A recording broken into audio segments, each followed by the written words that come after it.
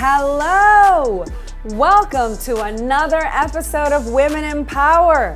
Today we have a very special guest, and I have known her for a long time. I bet you'll recognize her voice because over three decades, my friend has given voice to a spiky headed 10 year old boy, even though she's a grown woman. If you haven't figured it out yet, Yes, Nancy Cartwright is the voice of Bart Simpson. She's also responsible for an array of other characters on The Simpsons. And in 1992, Nancy won a Primetime Emmy for Outstanding Voiceover. And now releases a new audiobook, I'm Still a 10 Year Old Boy. And it's exclusively on Audible. So I can't wait to welcome her to the show and pick her brain about her new book and just dive into what it's like having a 30 year career. Let's go.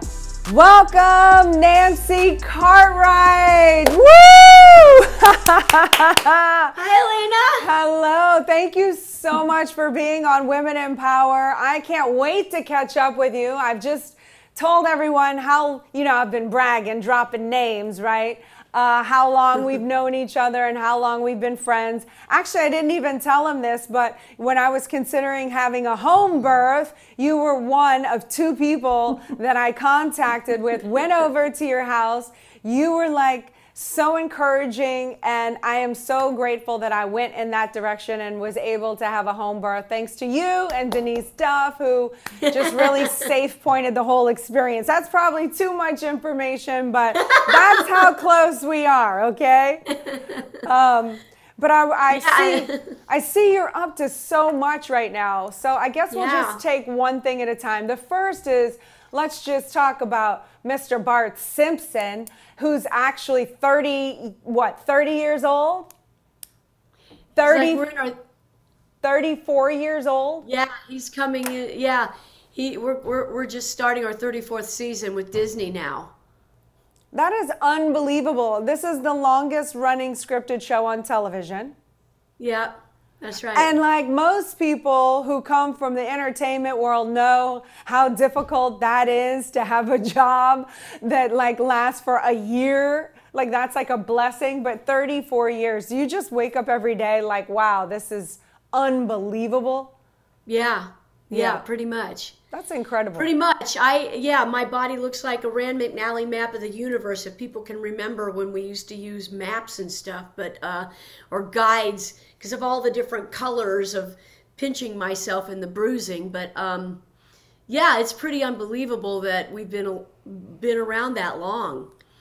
You know, including the Tracey Ullman show. So it's pretty remarkable. Yeah. Super congratulations on that. Thank you. And Thank I see you. that you just, well, first of all, you do so many things. Like you're an artist, you're majorly into your philanthropic endeavors. Now you're a director, you've written scripts. Now you just wrote a book, an Audible yeah. book, right? Yeah, that's right. So before we get into the Audible book, which I'm dying to hear about because I like the little topics you talk about in it, how do you have time? You know, like there's a lot of moms out there, a lot of just women out there, period, who are like, how do I have time? You're you're a mother, you're yeah. a working woman, you do all these other things. Like, just how do you do it? Yeah, time management is a tricky thing. I kind of kind of see it like um, the Ed Sullivan show. Remember, I, my the guy that spun all the plates and he would have to go back to the beginning and spin this again and go down the aisle by the time he got to the 10th plate the one at the beginning was starting to fall he had to quick run back and that's kind of how i feel feel it is because yeah i've got three organizations three companies and um, the thing that I eh, eh, eh, and still doing Bart Simpson and I do also Rugrats. We're back after a 16 year hiatus and all the original actors are back actresses that play the babies are back and it's all been modernized and set today.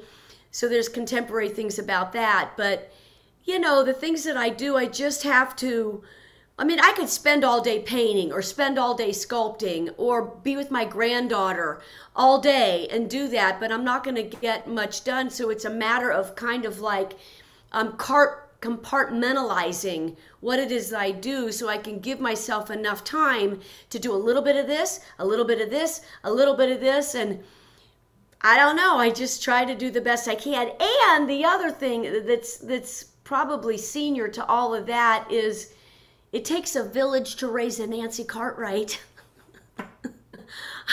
I'm surrounded by by other people and honestly it's it's almost all women. It's almost all women that um, I have working with me. One of my partners in Create for You, which is a production company, um, is Jaime Emmerich and his wife Carolina. And then there's Monica Gill and myself. We are the founders of this production company. And with the exception of Jaime, you know, the people that are around me are women, and they're all kind of propping me up and flowing me a lot of power. And in exchange for that, I give them chances and opportunities to grow and um, take leadership roles and put out fires and, um, yeah, kind of do that. Did you intentionally? surround yourself by women or is this just what kind of you just discovered one day like wow or did yeah. you consciously make a decision no i want to work around females you know it it wasn't a conscious decision. It's just kind of like um, everybody that i met the team that i have together now some of them started in a different position and and then they got promoted. And that was that was amazing. But the, but I saw that there was an ability there. And I see it in in some of these young gals that I have working with me. You know they're production assistants one of the gals that works with me believe it or not i mean it's during covid she was she she lost her job during covid and ended up becoming a dog walker. And she was helping us with our with my dogs. And in chatting with her found out she has so many more skills than that and mostly it was like having to do with IT and having to do with managing websites and her creativity and ability to go in and troubleshoot to fix things that I'm like, I'm like kind of a mess. I need an 8-year-old with me constantly in order to keep to keep my to keep me up to date on what's the newest thing and how to fix that. I mean, you know that with yep. your two daughters. They they probably know more than you in some areas. You say, I'm having trouble with this. Here, can you fix it? Oh, mom, no problem. Here, let it up. There you go. It's like giving them a Rubik's Cube and they can do it in 30 seconds. You know, these kids are so smart. But that's kind of what I noticed with one of the gals that's working with me. And, you know, she's, she ended up, I, she said, that's it with the dog thing. You need to come work for me. She is such a happy person, so much happier now but like working with us and finding out she even has more skills. And same even with, you know, you can find this out about anybody really. You can, and I think it's, I think COVID actually really helped with that. Yeah, you mean discovering the. Yeah. Yeah. Um, that there's growth potential. Yeah, exactly.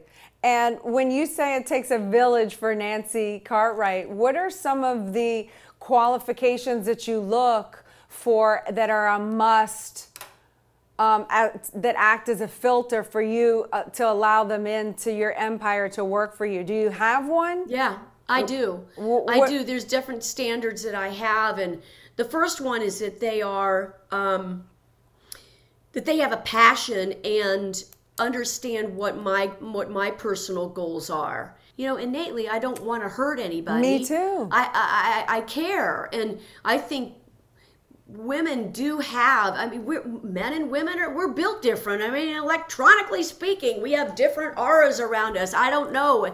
It's the way our bodies are are made up genetically. They're just we're different.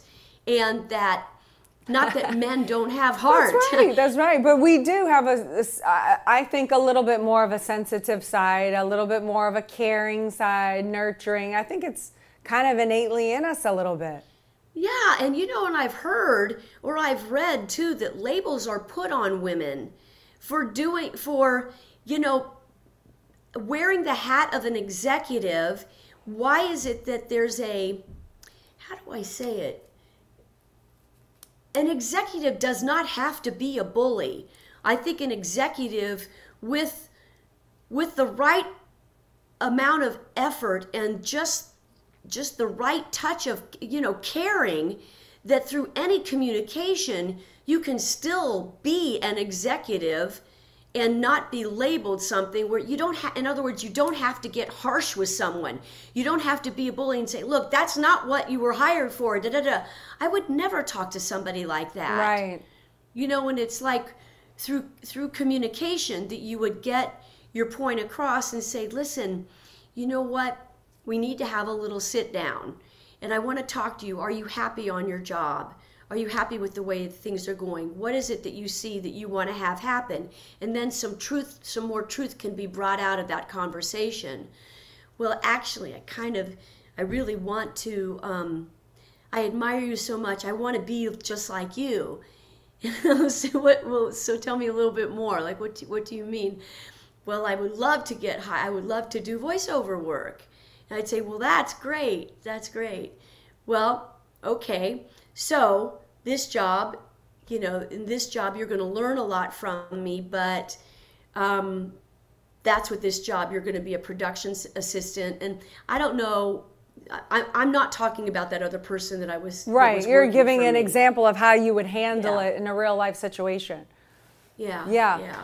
Uh, we, we do that a lot in our companies too. It's, uh, you know, when there's sort of like a written policy with the mission statement of the company, which it sounds like you have for you.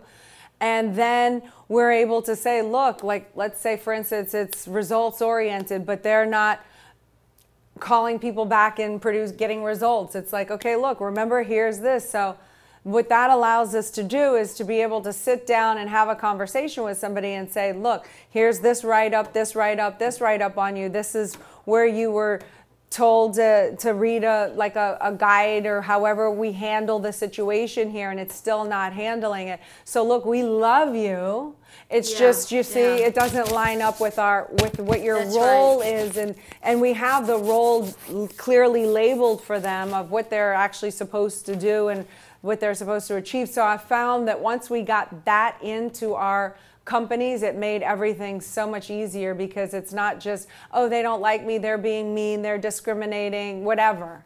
It's Yeah. like, no, it's here, it's here. So I love that you do that too. Yeah, thank you, thank you. And Monica Gill, who's worked with me for 15 years, she's now the, the um, executive director of the company, and she's got, you know, it's interesting to. she sees the overall strategy of the company. I mean, I see it too, but it really, my area really is in PR, and it's me as an artist. And it's me and doing my continuing to be the artist and flourish and prosper. Mm. And I use the lines that I've had for like 42 years actually. Simpsons 30, 34, but I've been doing voiceovers for 42 years now because Wow. I did. You're not even that old. Nancy. Well, yeah. So, um, yes, I, I play pickleball to keep up my, my girlish figure.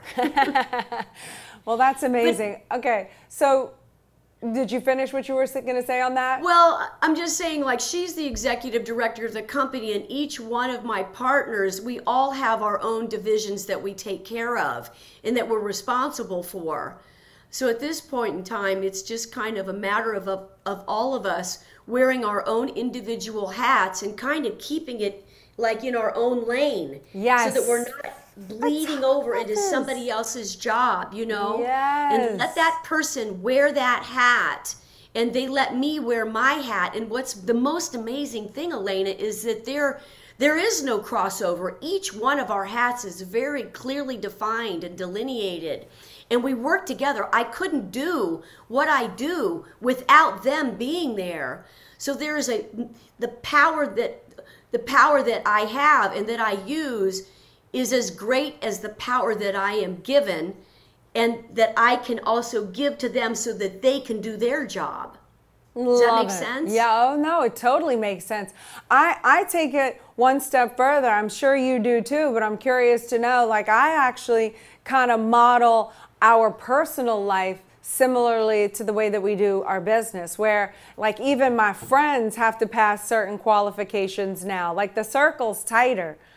You know what I'm saying? And, and my friends have a role and there and and, and there's got to be some mutual exchange for the friends. Like i don't do a lot of loaf time anymore. The goals are so big now that it's like I, like loaf time exhausts me nancy. Like i can do maybe a couple of hours of it and then i'm crawling the walls or i'm like exhausted.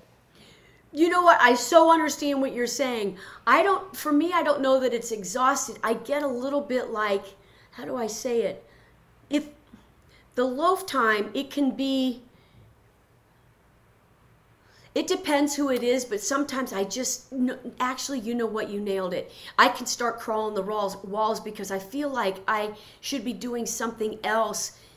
I, my work is not work. I, I don't know how to say Me it. I love what I do. I Me love it so much it's not it's not work i love the people that i work with i love the people that i'm meeting my connections with the studios these days and the executives in charge production companies showrunners writers um, developers it's great affinity and then when i go out to do a vacation now listen I'm like, I'm sure I'm like you. I love a good, I, I love a facial. I love doing some sports. I love doing some some hand gliding, some like zip lining. that, that's earned earned loaf time by the way go on uh-huh Yes, earned earned loaf time, but I do it. I like to do it fast and furious, and I love surrounding myself, especially if I'm with a group of friends or a, a tight group of girlfriends that we're all on the same page that way. But you know, when it's done, four days for me is like I love four day a four day weekend and then back to work. You know,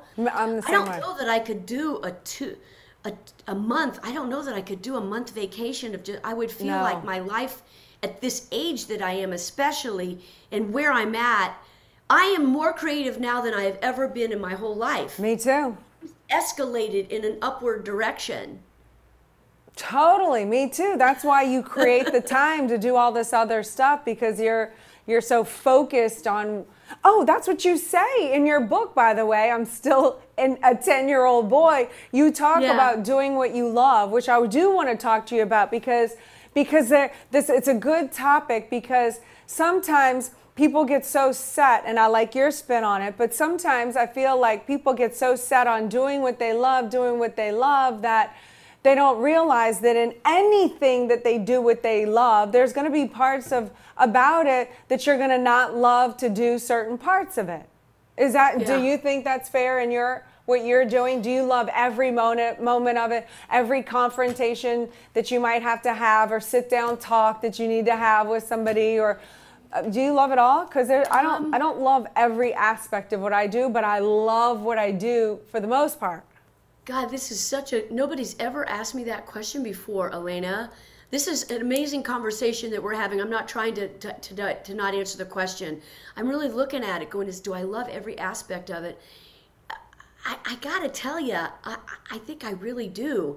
I don't, by, by the way, though for me, and it may be different for you, and maybe that's why, is that I'm, I, I'm not in there with my attorney. I'm not working out deals with, with major studios. I'm not part of that hat.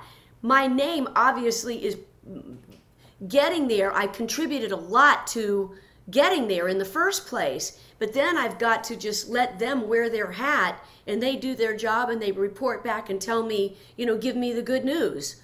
Or give me the news or like, what's the next step? Because signing a contract, if I can, it's like the signing a contract is do you see my hand above my head way up here? Uh-huh. If that's the final thing that I'm going for is when the when the contract is signed and the ink is dry, there are all these other steps that you have to take. And each one of those steps is a huge win. It feels incredible. It's like you've got these um I don't know what you would call them. Just they're, they're if this is the final um it's the final goal. You've got these sub goals The sub targets. That's what I call them. Yeah. The little sub targets that you hit along the way. Yeah, and so you hit one, good. Let's ha- let's have a special meal. Let's celebrate the win on that because I reached out to. So I'm just going to make it Ryan Reynolds. I'm just making it up. I reached out to Ryan Reynolds and he responded. He wants to do another. You know, he would love to do an animated show with me. And I'm uh, like I said, I'm just making this up. This isn't true. No, I love but it. But that That's a sub product. We don't have a contract, but he's like, oh yeah, oh my God, I would love to work with Nancy Cartwright. Next thing you know, we're talking. We we are doing a um, a FaceTime call or something, and you know I have an idea for you and me. Blah blah blah blah. And that to me, but but that's that's not that's not up here. That's not a signed target. Now we've got to get a script. We've got to get agreement. And if it's a musical, that's a whole nother bag of tricks. Now it's pulling in somebody else that knows what he's doing in that area. Do I want to go to Broadway and pull in, you know, and, and do what um, uh, Central Park did and pulling in a lot of um, Broadway performers? You know that that's a way to go, and there's there's other ways to go. I've got a, a great line in with Disney, and you know it's just kind of like 42 years in this business. There are a lot of my, my Rolodex is pretty thick. Mm-hmm. No, I like it because you're inspiring me to delegate even more of the parts that I don't like to do to other people. Why do I think I have to do the parts oh, yeah. that I don't like? But there are parts that, yeah. that only I can do. Like, you know, there's certain things that I feel like I have to do. Um, maybe maybe I do mentoring calls. I love the mentoring calls after I do them. Sometimes I have like like mild for lack of a better word, like anxiety or like, oh, having to actually sit and write the content or come up with the idea and then oh. get on the call because I really want to be with Grant and the kids because they were doing popcorn and a movie, but now I have to go do the Zoom, which I'm really happy for because ultimately it was so good by the time it ends, but but I didn't love that. Or, you know, sometimes speaking in front of stages, like I love it after it's done, but sometimes walking out, I'm like, oh, I hate the the thing, you know? Um, you know what? Yes, you just did. You put, you you kind of triggered or inspired me on a thought there. So if I get invited to speak at a like like um, yeah, keynote speech yes. or graduate, yeah, yeah, like I, I just did, right, and now I can't go with my family to Cabo because it conflicts. But I'm not going to give yeah. up the other thing because I love the other thing. But tell me your thing. Yeah, well, it's kind of along that line. I I'm going to enjoy I don't necessarily like sitting down and spending four hours to write a 20 minute keynote speech, a commencement speech, because graduations are, you know, they're just around the corner. So I've been invited to do a keynote speech. I haven't confronted this yet, but I'm going to have to sit down. And I've done enough of these that I can go in and I saved dozens of speeches and I can clip and I can cut and paste and put it together. But when it comes right down to it, that's a particular public. We've gone through two years of being, and, and you know, it, it, mandates are still in effect in some places. Thank but God I'm, I'm in Florida. Have, yeah, exactly. Yeah, I, I, I understand about Florida. California, things actually have lifted quite a bit in the past week. The, the mandates have lifted quite a bit, so that's amazing. But prior to that, sitting down and the whole point I'm trying to make is uh, maybe I've done a commencement speech before, but it still needs to be the way I want to say it. It needs to be tailored to that specific public, and that takes some time to do. Yeah. And that's not that's not the funnest thing, but I'm so glad I did it when I'm standing and when I'm introduced and I'm standing in front of the podium. I'm so glad that I did it. And that's the difference that I keep trying to set in people's head because sometimes it's do what you love, the money will follow. And yes, I agree with all of those statements. And I love that you put that do what you love. And if you're not doing what you love, find some aspect of what yeah. you love. I love that you say that. And then also, like, trying to either set my record straight or other people's record straight that yes, in doing what you love, it's not going to be 100% every action is like, ah, yeah, you know, yeah. that, you know, and, and to not like think that you're on the wrong path or something's wrong or think that you have to have this perfect picture of what it's supposed to look like and because you feel differently it's it's somehow not quite right or something. You know like i like your description of the work life balance. Yeah no I think the, the the time management because i could identify with it so well and maybe it's because you're as busy as we are, but you're talking about the plates, you know, because people ask me all the time about work life balance. How do you do work life balance? And finally, I came up with it. I don't do balance, I do juggling. But I like your plates analogy. I'm like, I catch whichever one is about to land, and I can do multiple. It could be a golf ball, yeah. a jigsaw, a chainsaw, a basketball. like, I'm multi talented. Like, if you want the circus act juggler, you come to me, you know? and I just do, I'm, I'm just constantly in motion. And for me, when when I have like nothing going on and I've I kind of have that humana humana I'm in peace mode, like I get in trouble. I get in trouble. Mm. I'm gonna want to pick a fight with my husband. Like I get bored. I get like like yeah. D- does that happen to you? Oh and yeah. Do you think that you know, happens you, to everybody? I think you hit it. The, you, uh, you get bored. If you don't mind my saying, because maybe we're similar this way, I'm a very action oriented person. I'm very goal oriented. And if if I don't have enough motion going on around me, I get bored instantly. Me too. And when boredom and right, and when boredom sets in, watch out because then it's going to be trouble. Have then all of a sudden you start seeing things that are wrong and maybe criticism sets in. It's like and then you're you're sunk. So you're sunk and then you're going to be making some apologies. I know. I know. Okay. Well, we covered that. I want to cover this, these other points that you talk about in your book. Well, in your Audible, how can they get the Audible?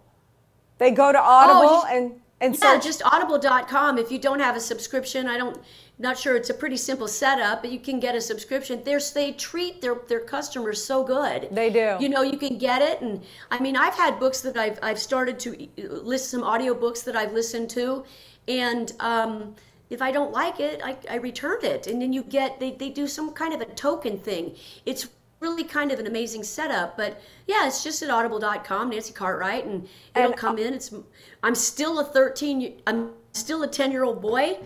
And, um, and I it's narrated by you, of course, I'm yeah. assuming, for sure. Okay, how yeah. could a voiceover professional best in the industry assign that task to somebody else? That ain't happening.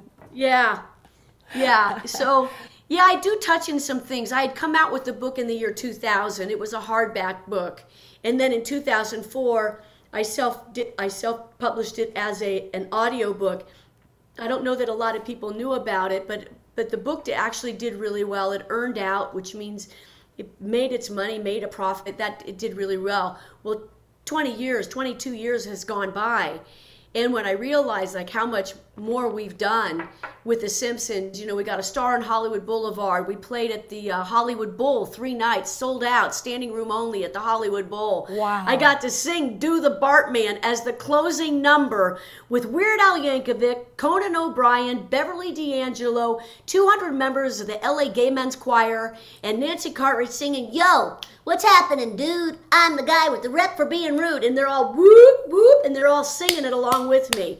That was like super, milestone. Super milestone. cool. Huh? so, I mean, that and what else have we done? It's just like we've performed live at the Aspen um, the Comedy Arts Festival in Aspen, Colorado. We were introduced, and nobody had seen the actors before, and that was kind of a first. So that was really memorable, and, I, and so I talk about that. And also on the book, I've got little clips from Meryl Streep and J.K. Simmons and Kirk Douglas, Mickey Rooney, and Marge and Homer and Lisa Simpson the actors that play those parts and little clips from them and I talk about episodes, you know, that they had mm. done. 50 Cent, um, Anne Hathaway. She ended up getting an Emmy because she performed on The Simpsons. Get playing, out. Yeah. So that was pretty cool that we we helped her out with that. So I talk about that and one other thing that to me is I still can't believe I did this, but my mentor was a name that you, you probably re- don't know that you remember his name, but Daws Butler, who is Huckleberry Hound and Yogi Bear and Quick Draw McGraw, Elroy Jetson. I've got some of his stuff, I think. There's uh, Snagglepuss is over there in the far right. You can see a little animated cel right there of Snagglepuss. And anyway, he um, he was my mentor when I was a teenager, and I would send him my voice on cassette and mail that. He he would send me scripts and I would record that on a little cassette and mail that back to him and he would critique me on another cassette and mail that to me and I saved those over the years. What? How did you manage them. that? You know, I it's not like I thought when I was 18, 19, wow, when I'm in my, you know, when I'm about 30 something, I'm going to end up getting the I'm going to get cast as a 10 year old boy and it's still going to be on the air 34 years later. It's not, but I just had a vision, Elena, that this was, I knew when I was about 16 that this is, this is what I'm going to do. And it was, it was, uh, and I, I go into a lot of detail in the book on it. I, I, t- I talk about it quite a bit. That's kind of what the book is about. I unfurl how I came to be the voice of Bart. Wow. And I got clips of Daws Butler talking to like 18, 19 year old Nancy Cartwright and me wow. answering him. And you just, I don't even sound like myself. I certainly don't have the, um, depth. how do I say, the, the, the, depth, the confidence at talking to even you right now, the certainty, because I've got all this history now behind me. And I had, I'd never even been on an airplane. I was super, super naive. Wow to, to be honest. But I thought, Daws Butler, wow. And I made a decision. I want to I want to meet him. I want to work with him. So Did you have to pay for that or he just took a liking to you and he yeah, he just I mean, I was in Dayton, Ohio and he was in Beverly Hills, you know, California. so this went on for this. a couple years when and I transferred and then I, you know, started studying with him on on Sundays but you know, you got you guys, the listeners, can get the book, and it in itself is a. Um, I mean, I could I could go on and on about it. I could I could do the whole book over for you right now. it sounds absolutely fascinating. I can't wait to hear it. I can't wait to download it and listen to your voice and hear your takeaways. What, what, yeah. how, how, real quick, you have the confidence now. What do you attribute that to? Just your statistics, your your doingness of it, um, or what, how did you well, build that? Well, certainly the doingness of I think I would I would say that's number one is that I started when I moved out to California and started working with him was within a couple of years that I started auditioning, mm-hmm. and I was learning by doing Elena. I didn't know. Um, I I didn't know that I had a, a niche in doing voiceovers that I I kind of specialize in this area of of adolescents and young boy sounds. I was rarely cast as a girl. I can count on one hand how many times I've played a girl in casting in 42 years. I don't play girl voices. And there's something about, you know, The Simpsons. I'm Bart, Nelson, Ralph, Kearney, Database. Um, who am I missing? Bart Nelson, Ralph, oh, Todd Flanders, and Maggie, Maggie Simpson, who doesn't even really talk, but she.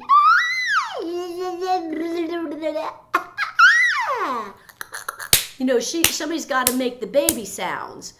But those other boys that I do, those,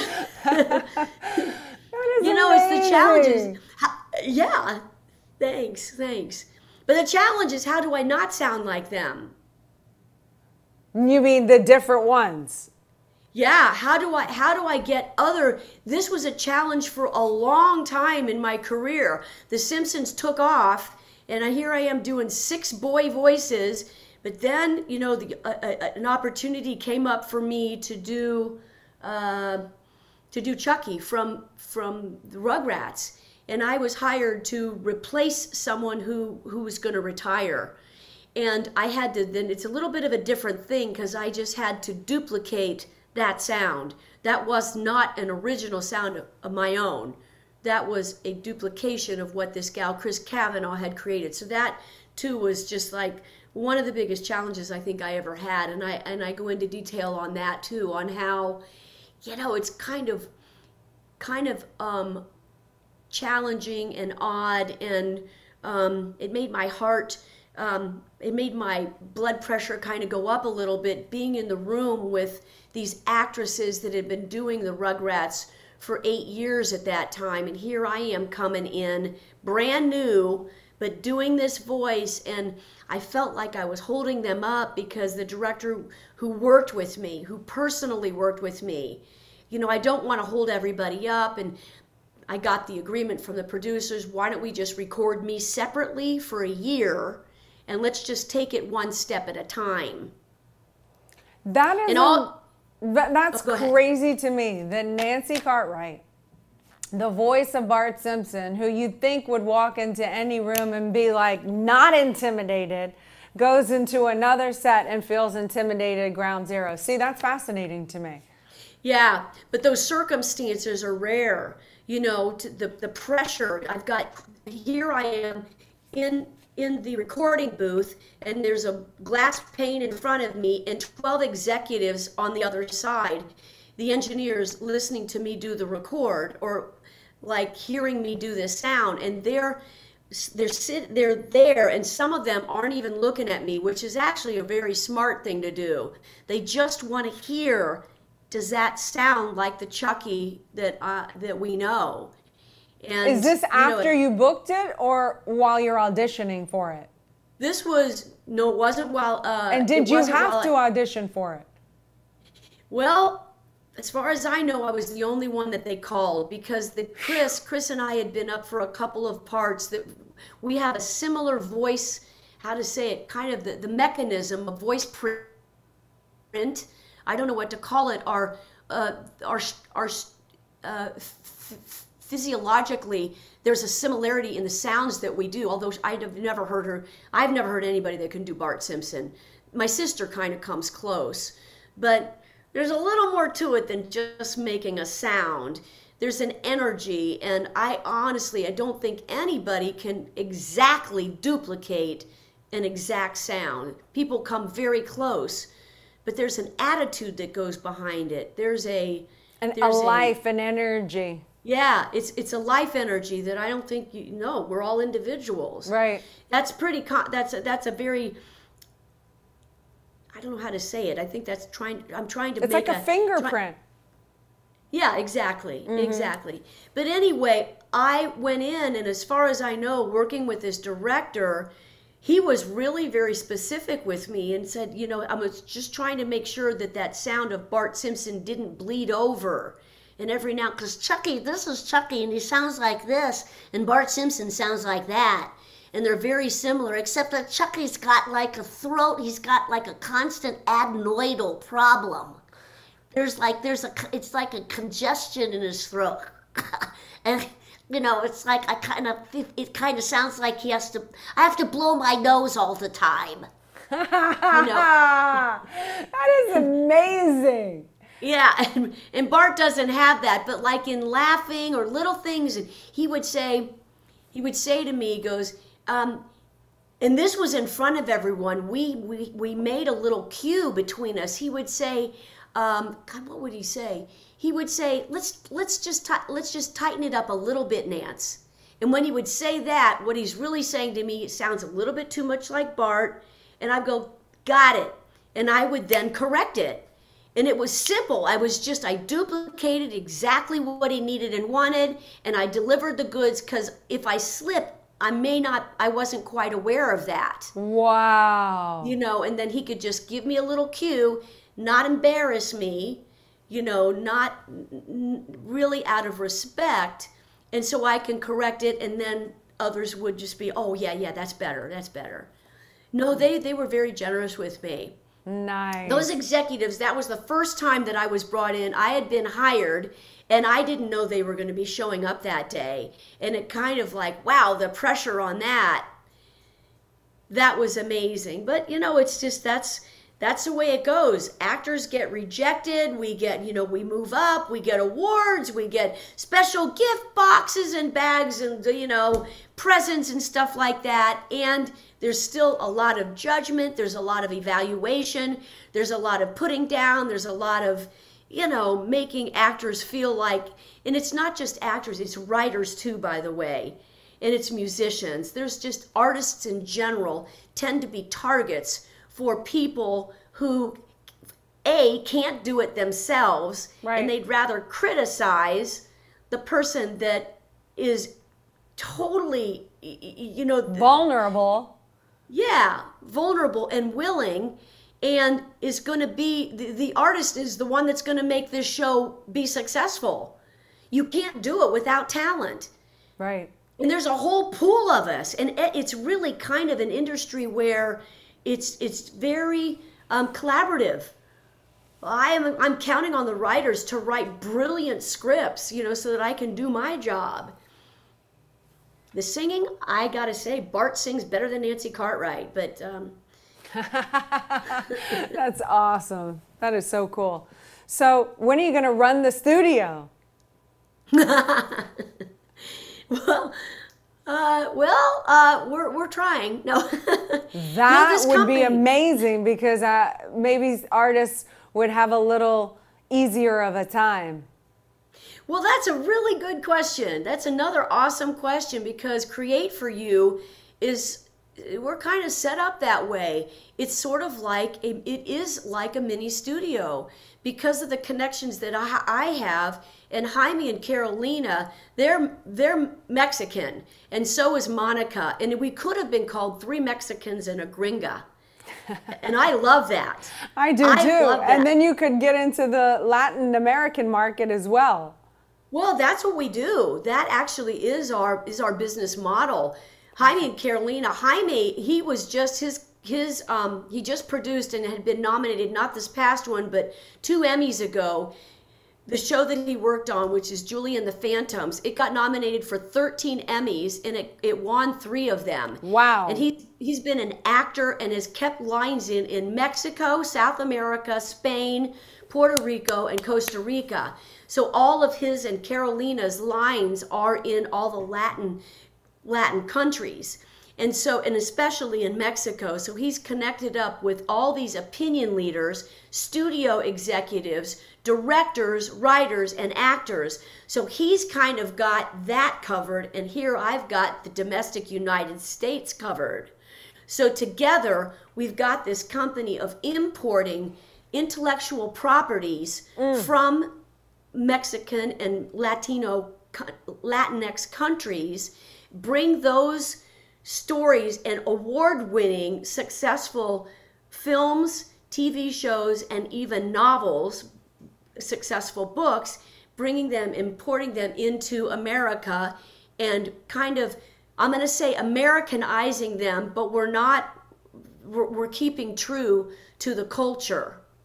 That is beautiful. Well, I'm excited. Yeah. Nancy for president of studios, of Sony, of, you know, I'm ready. Let's go.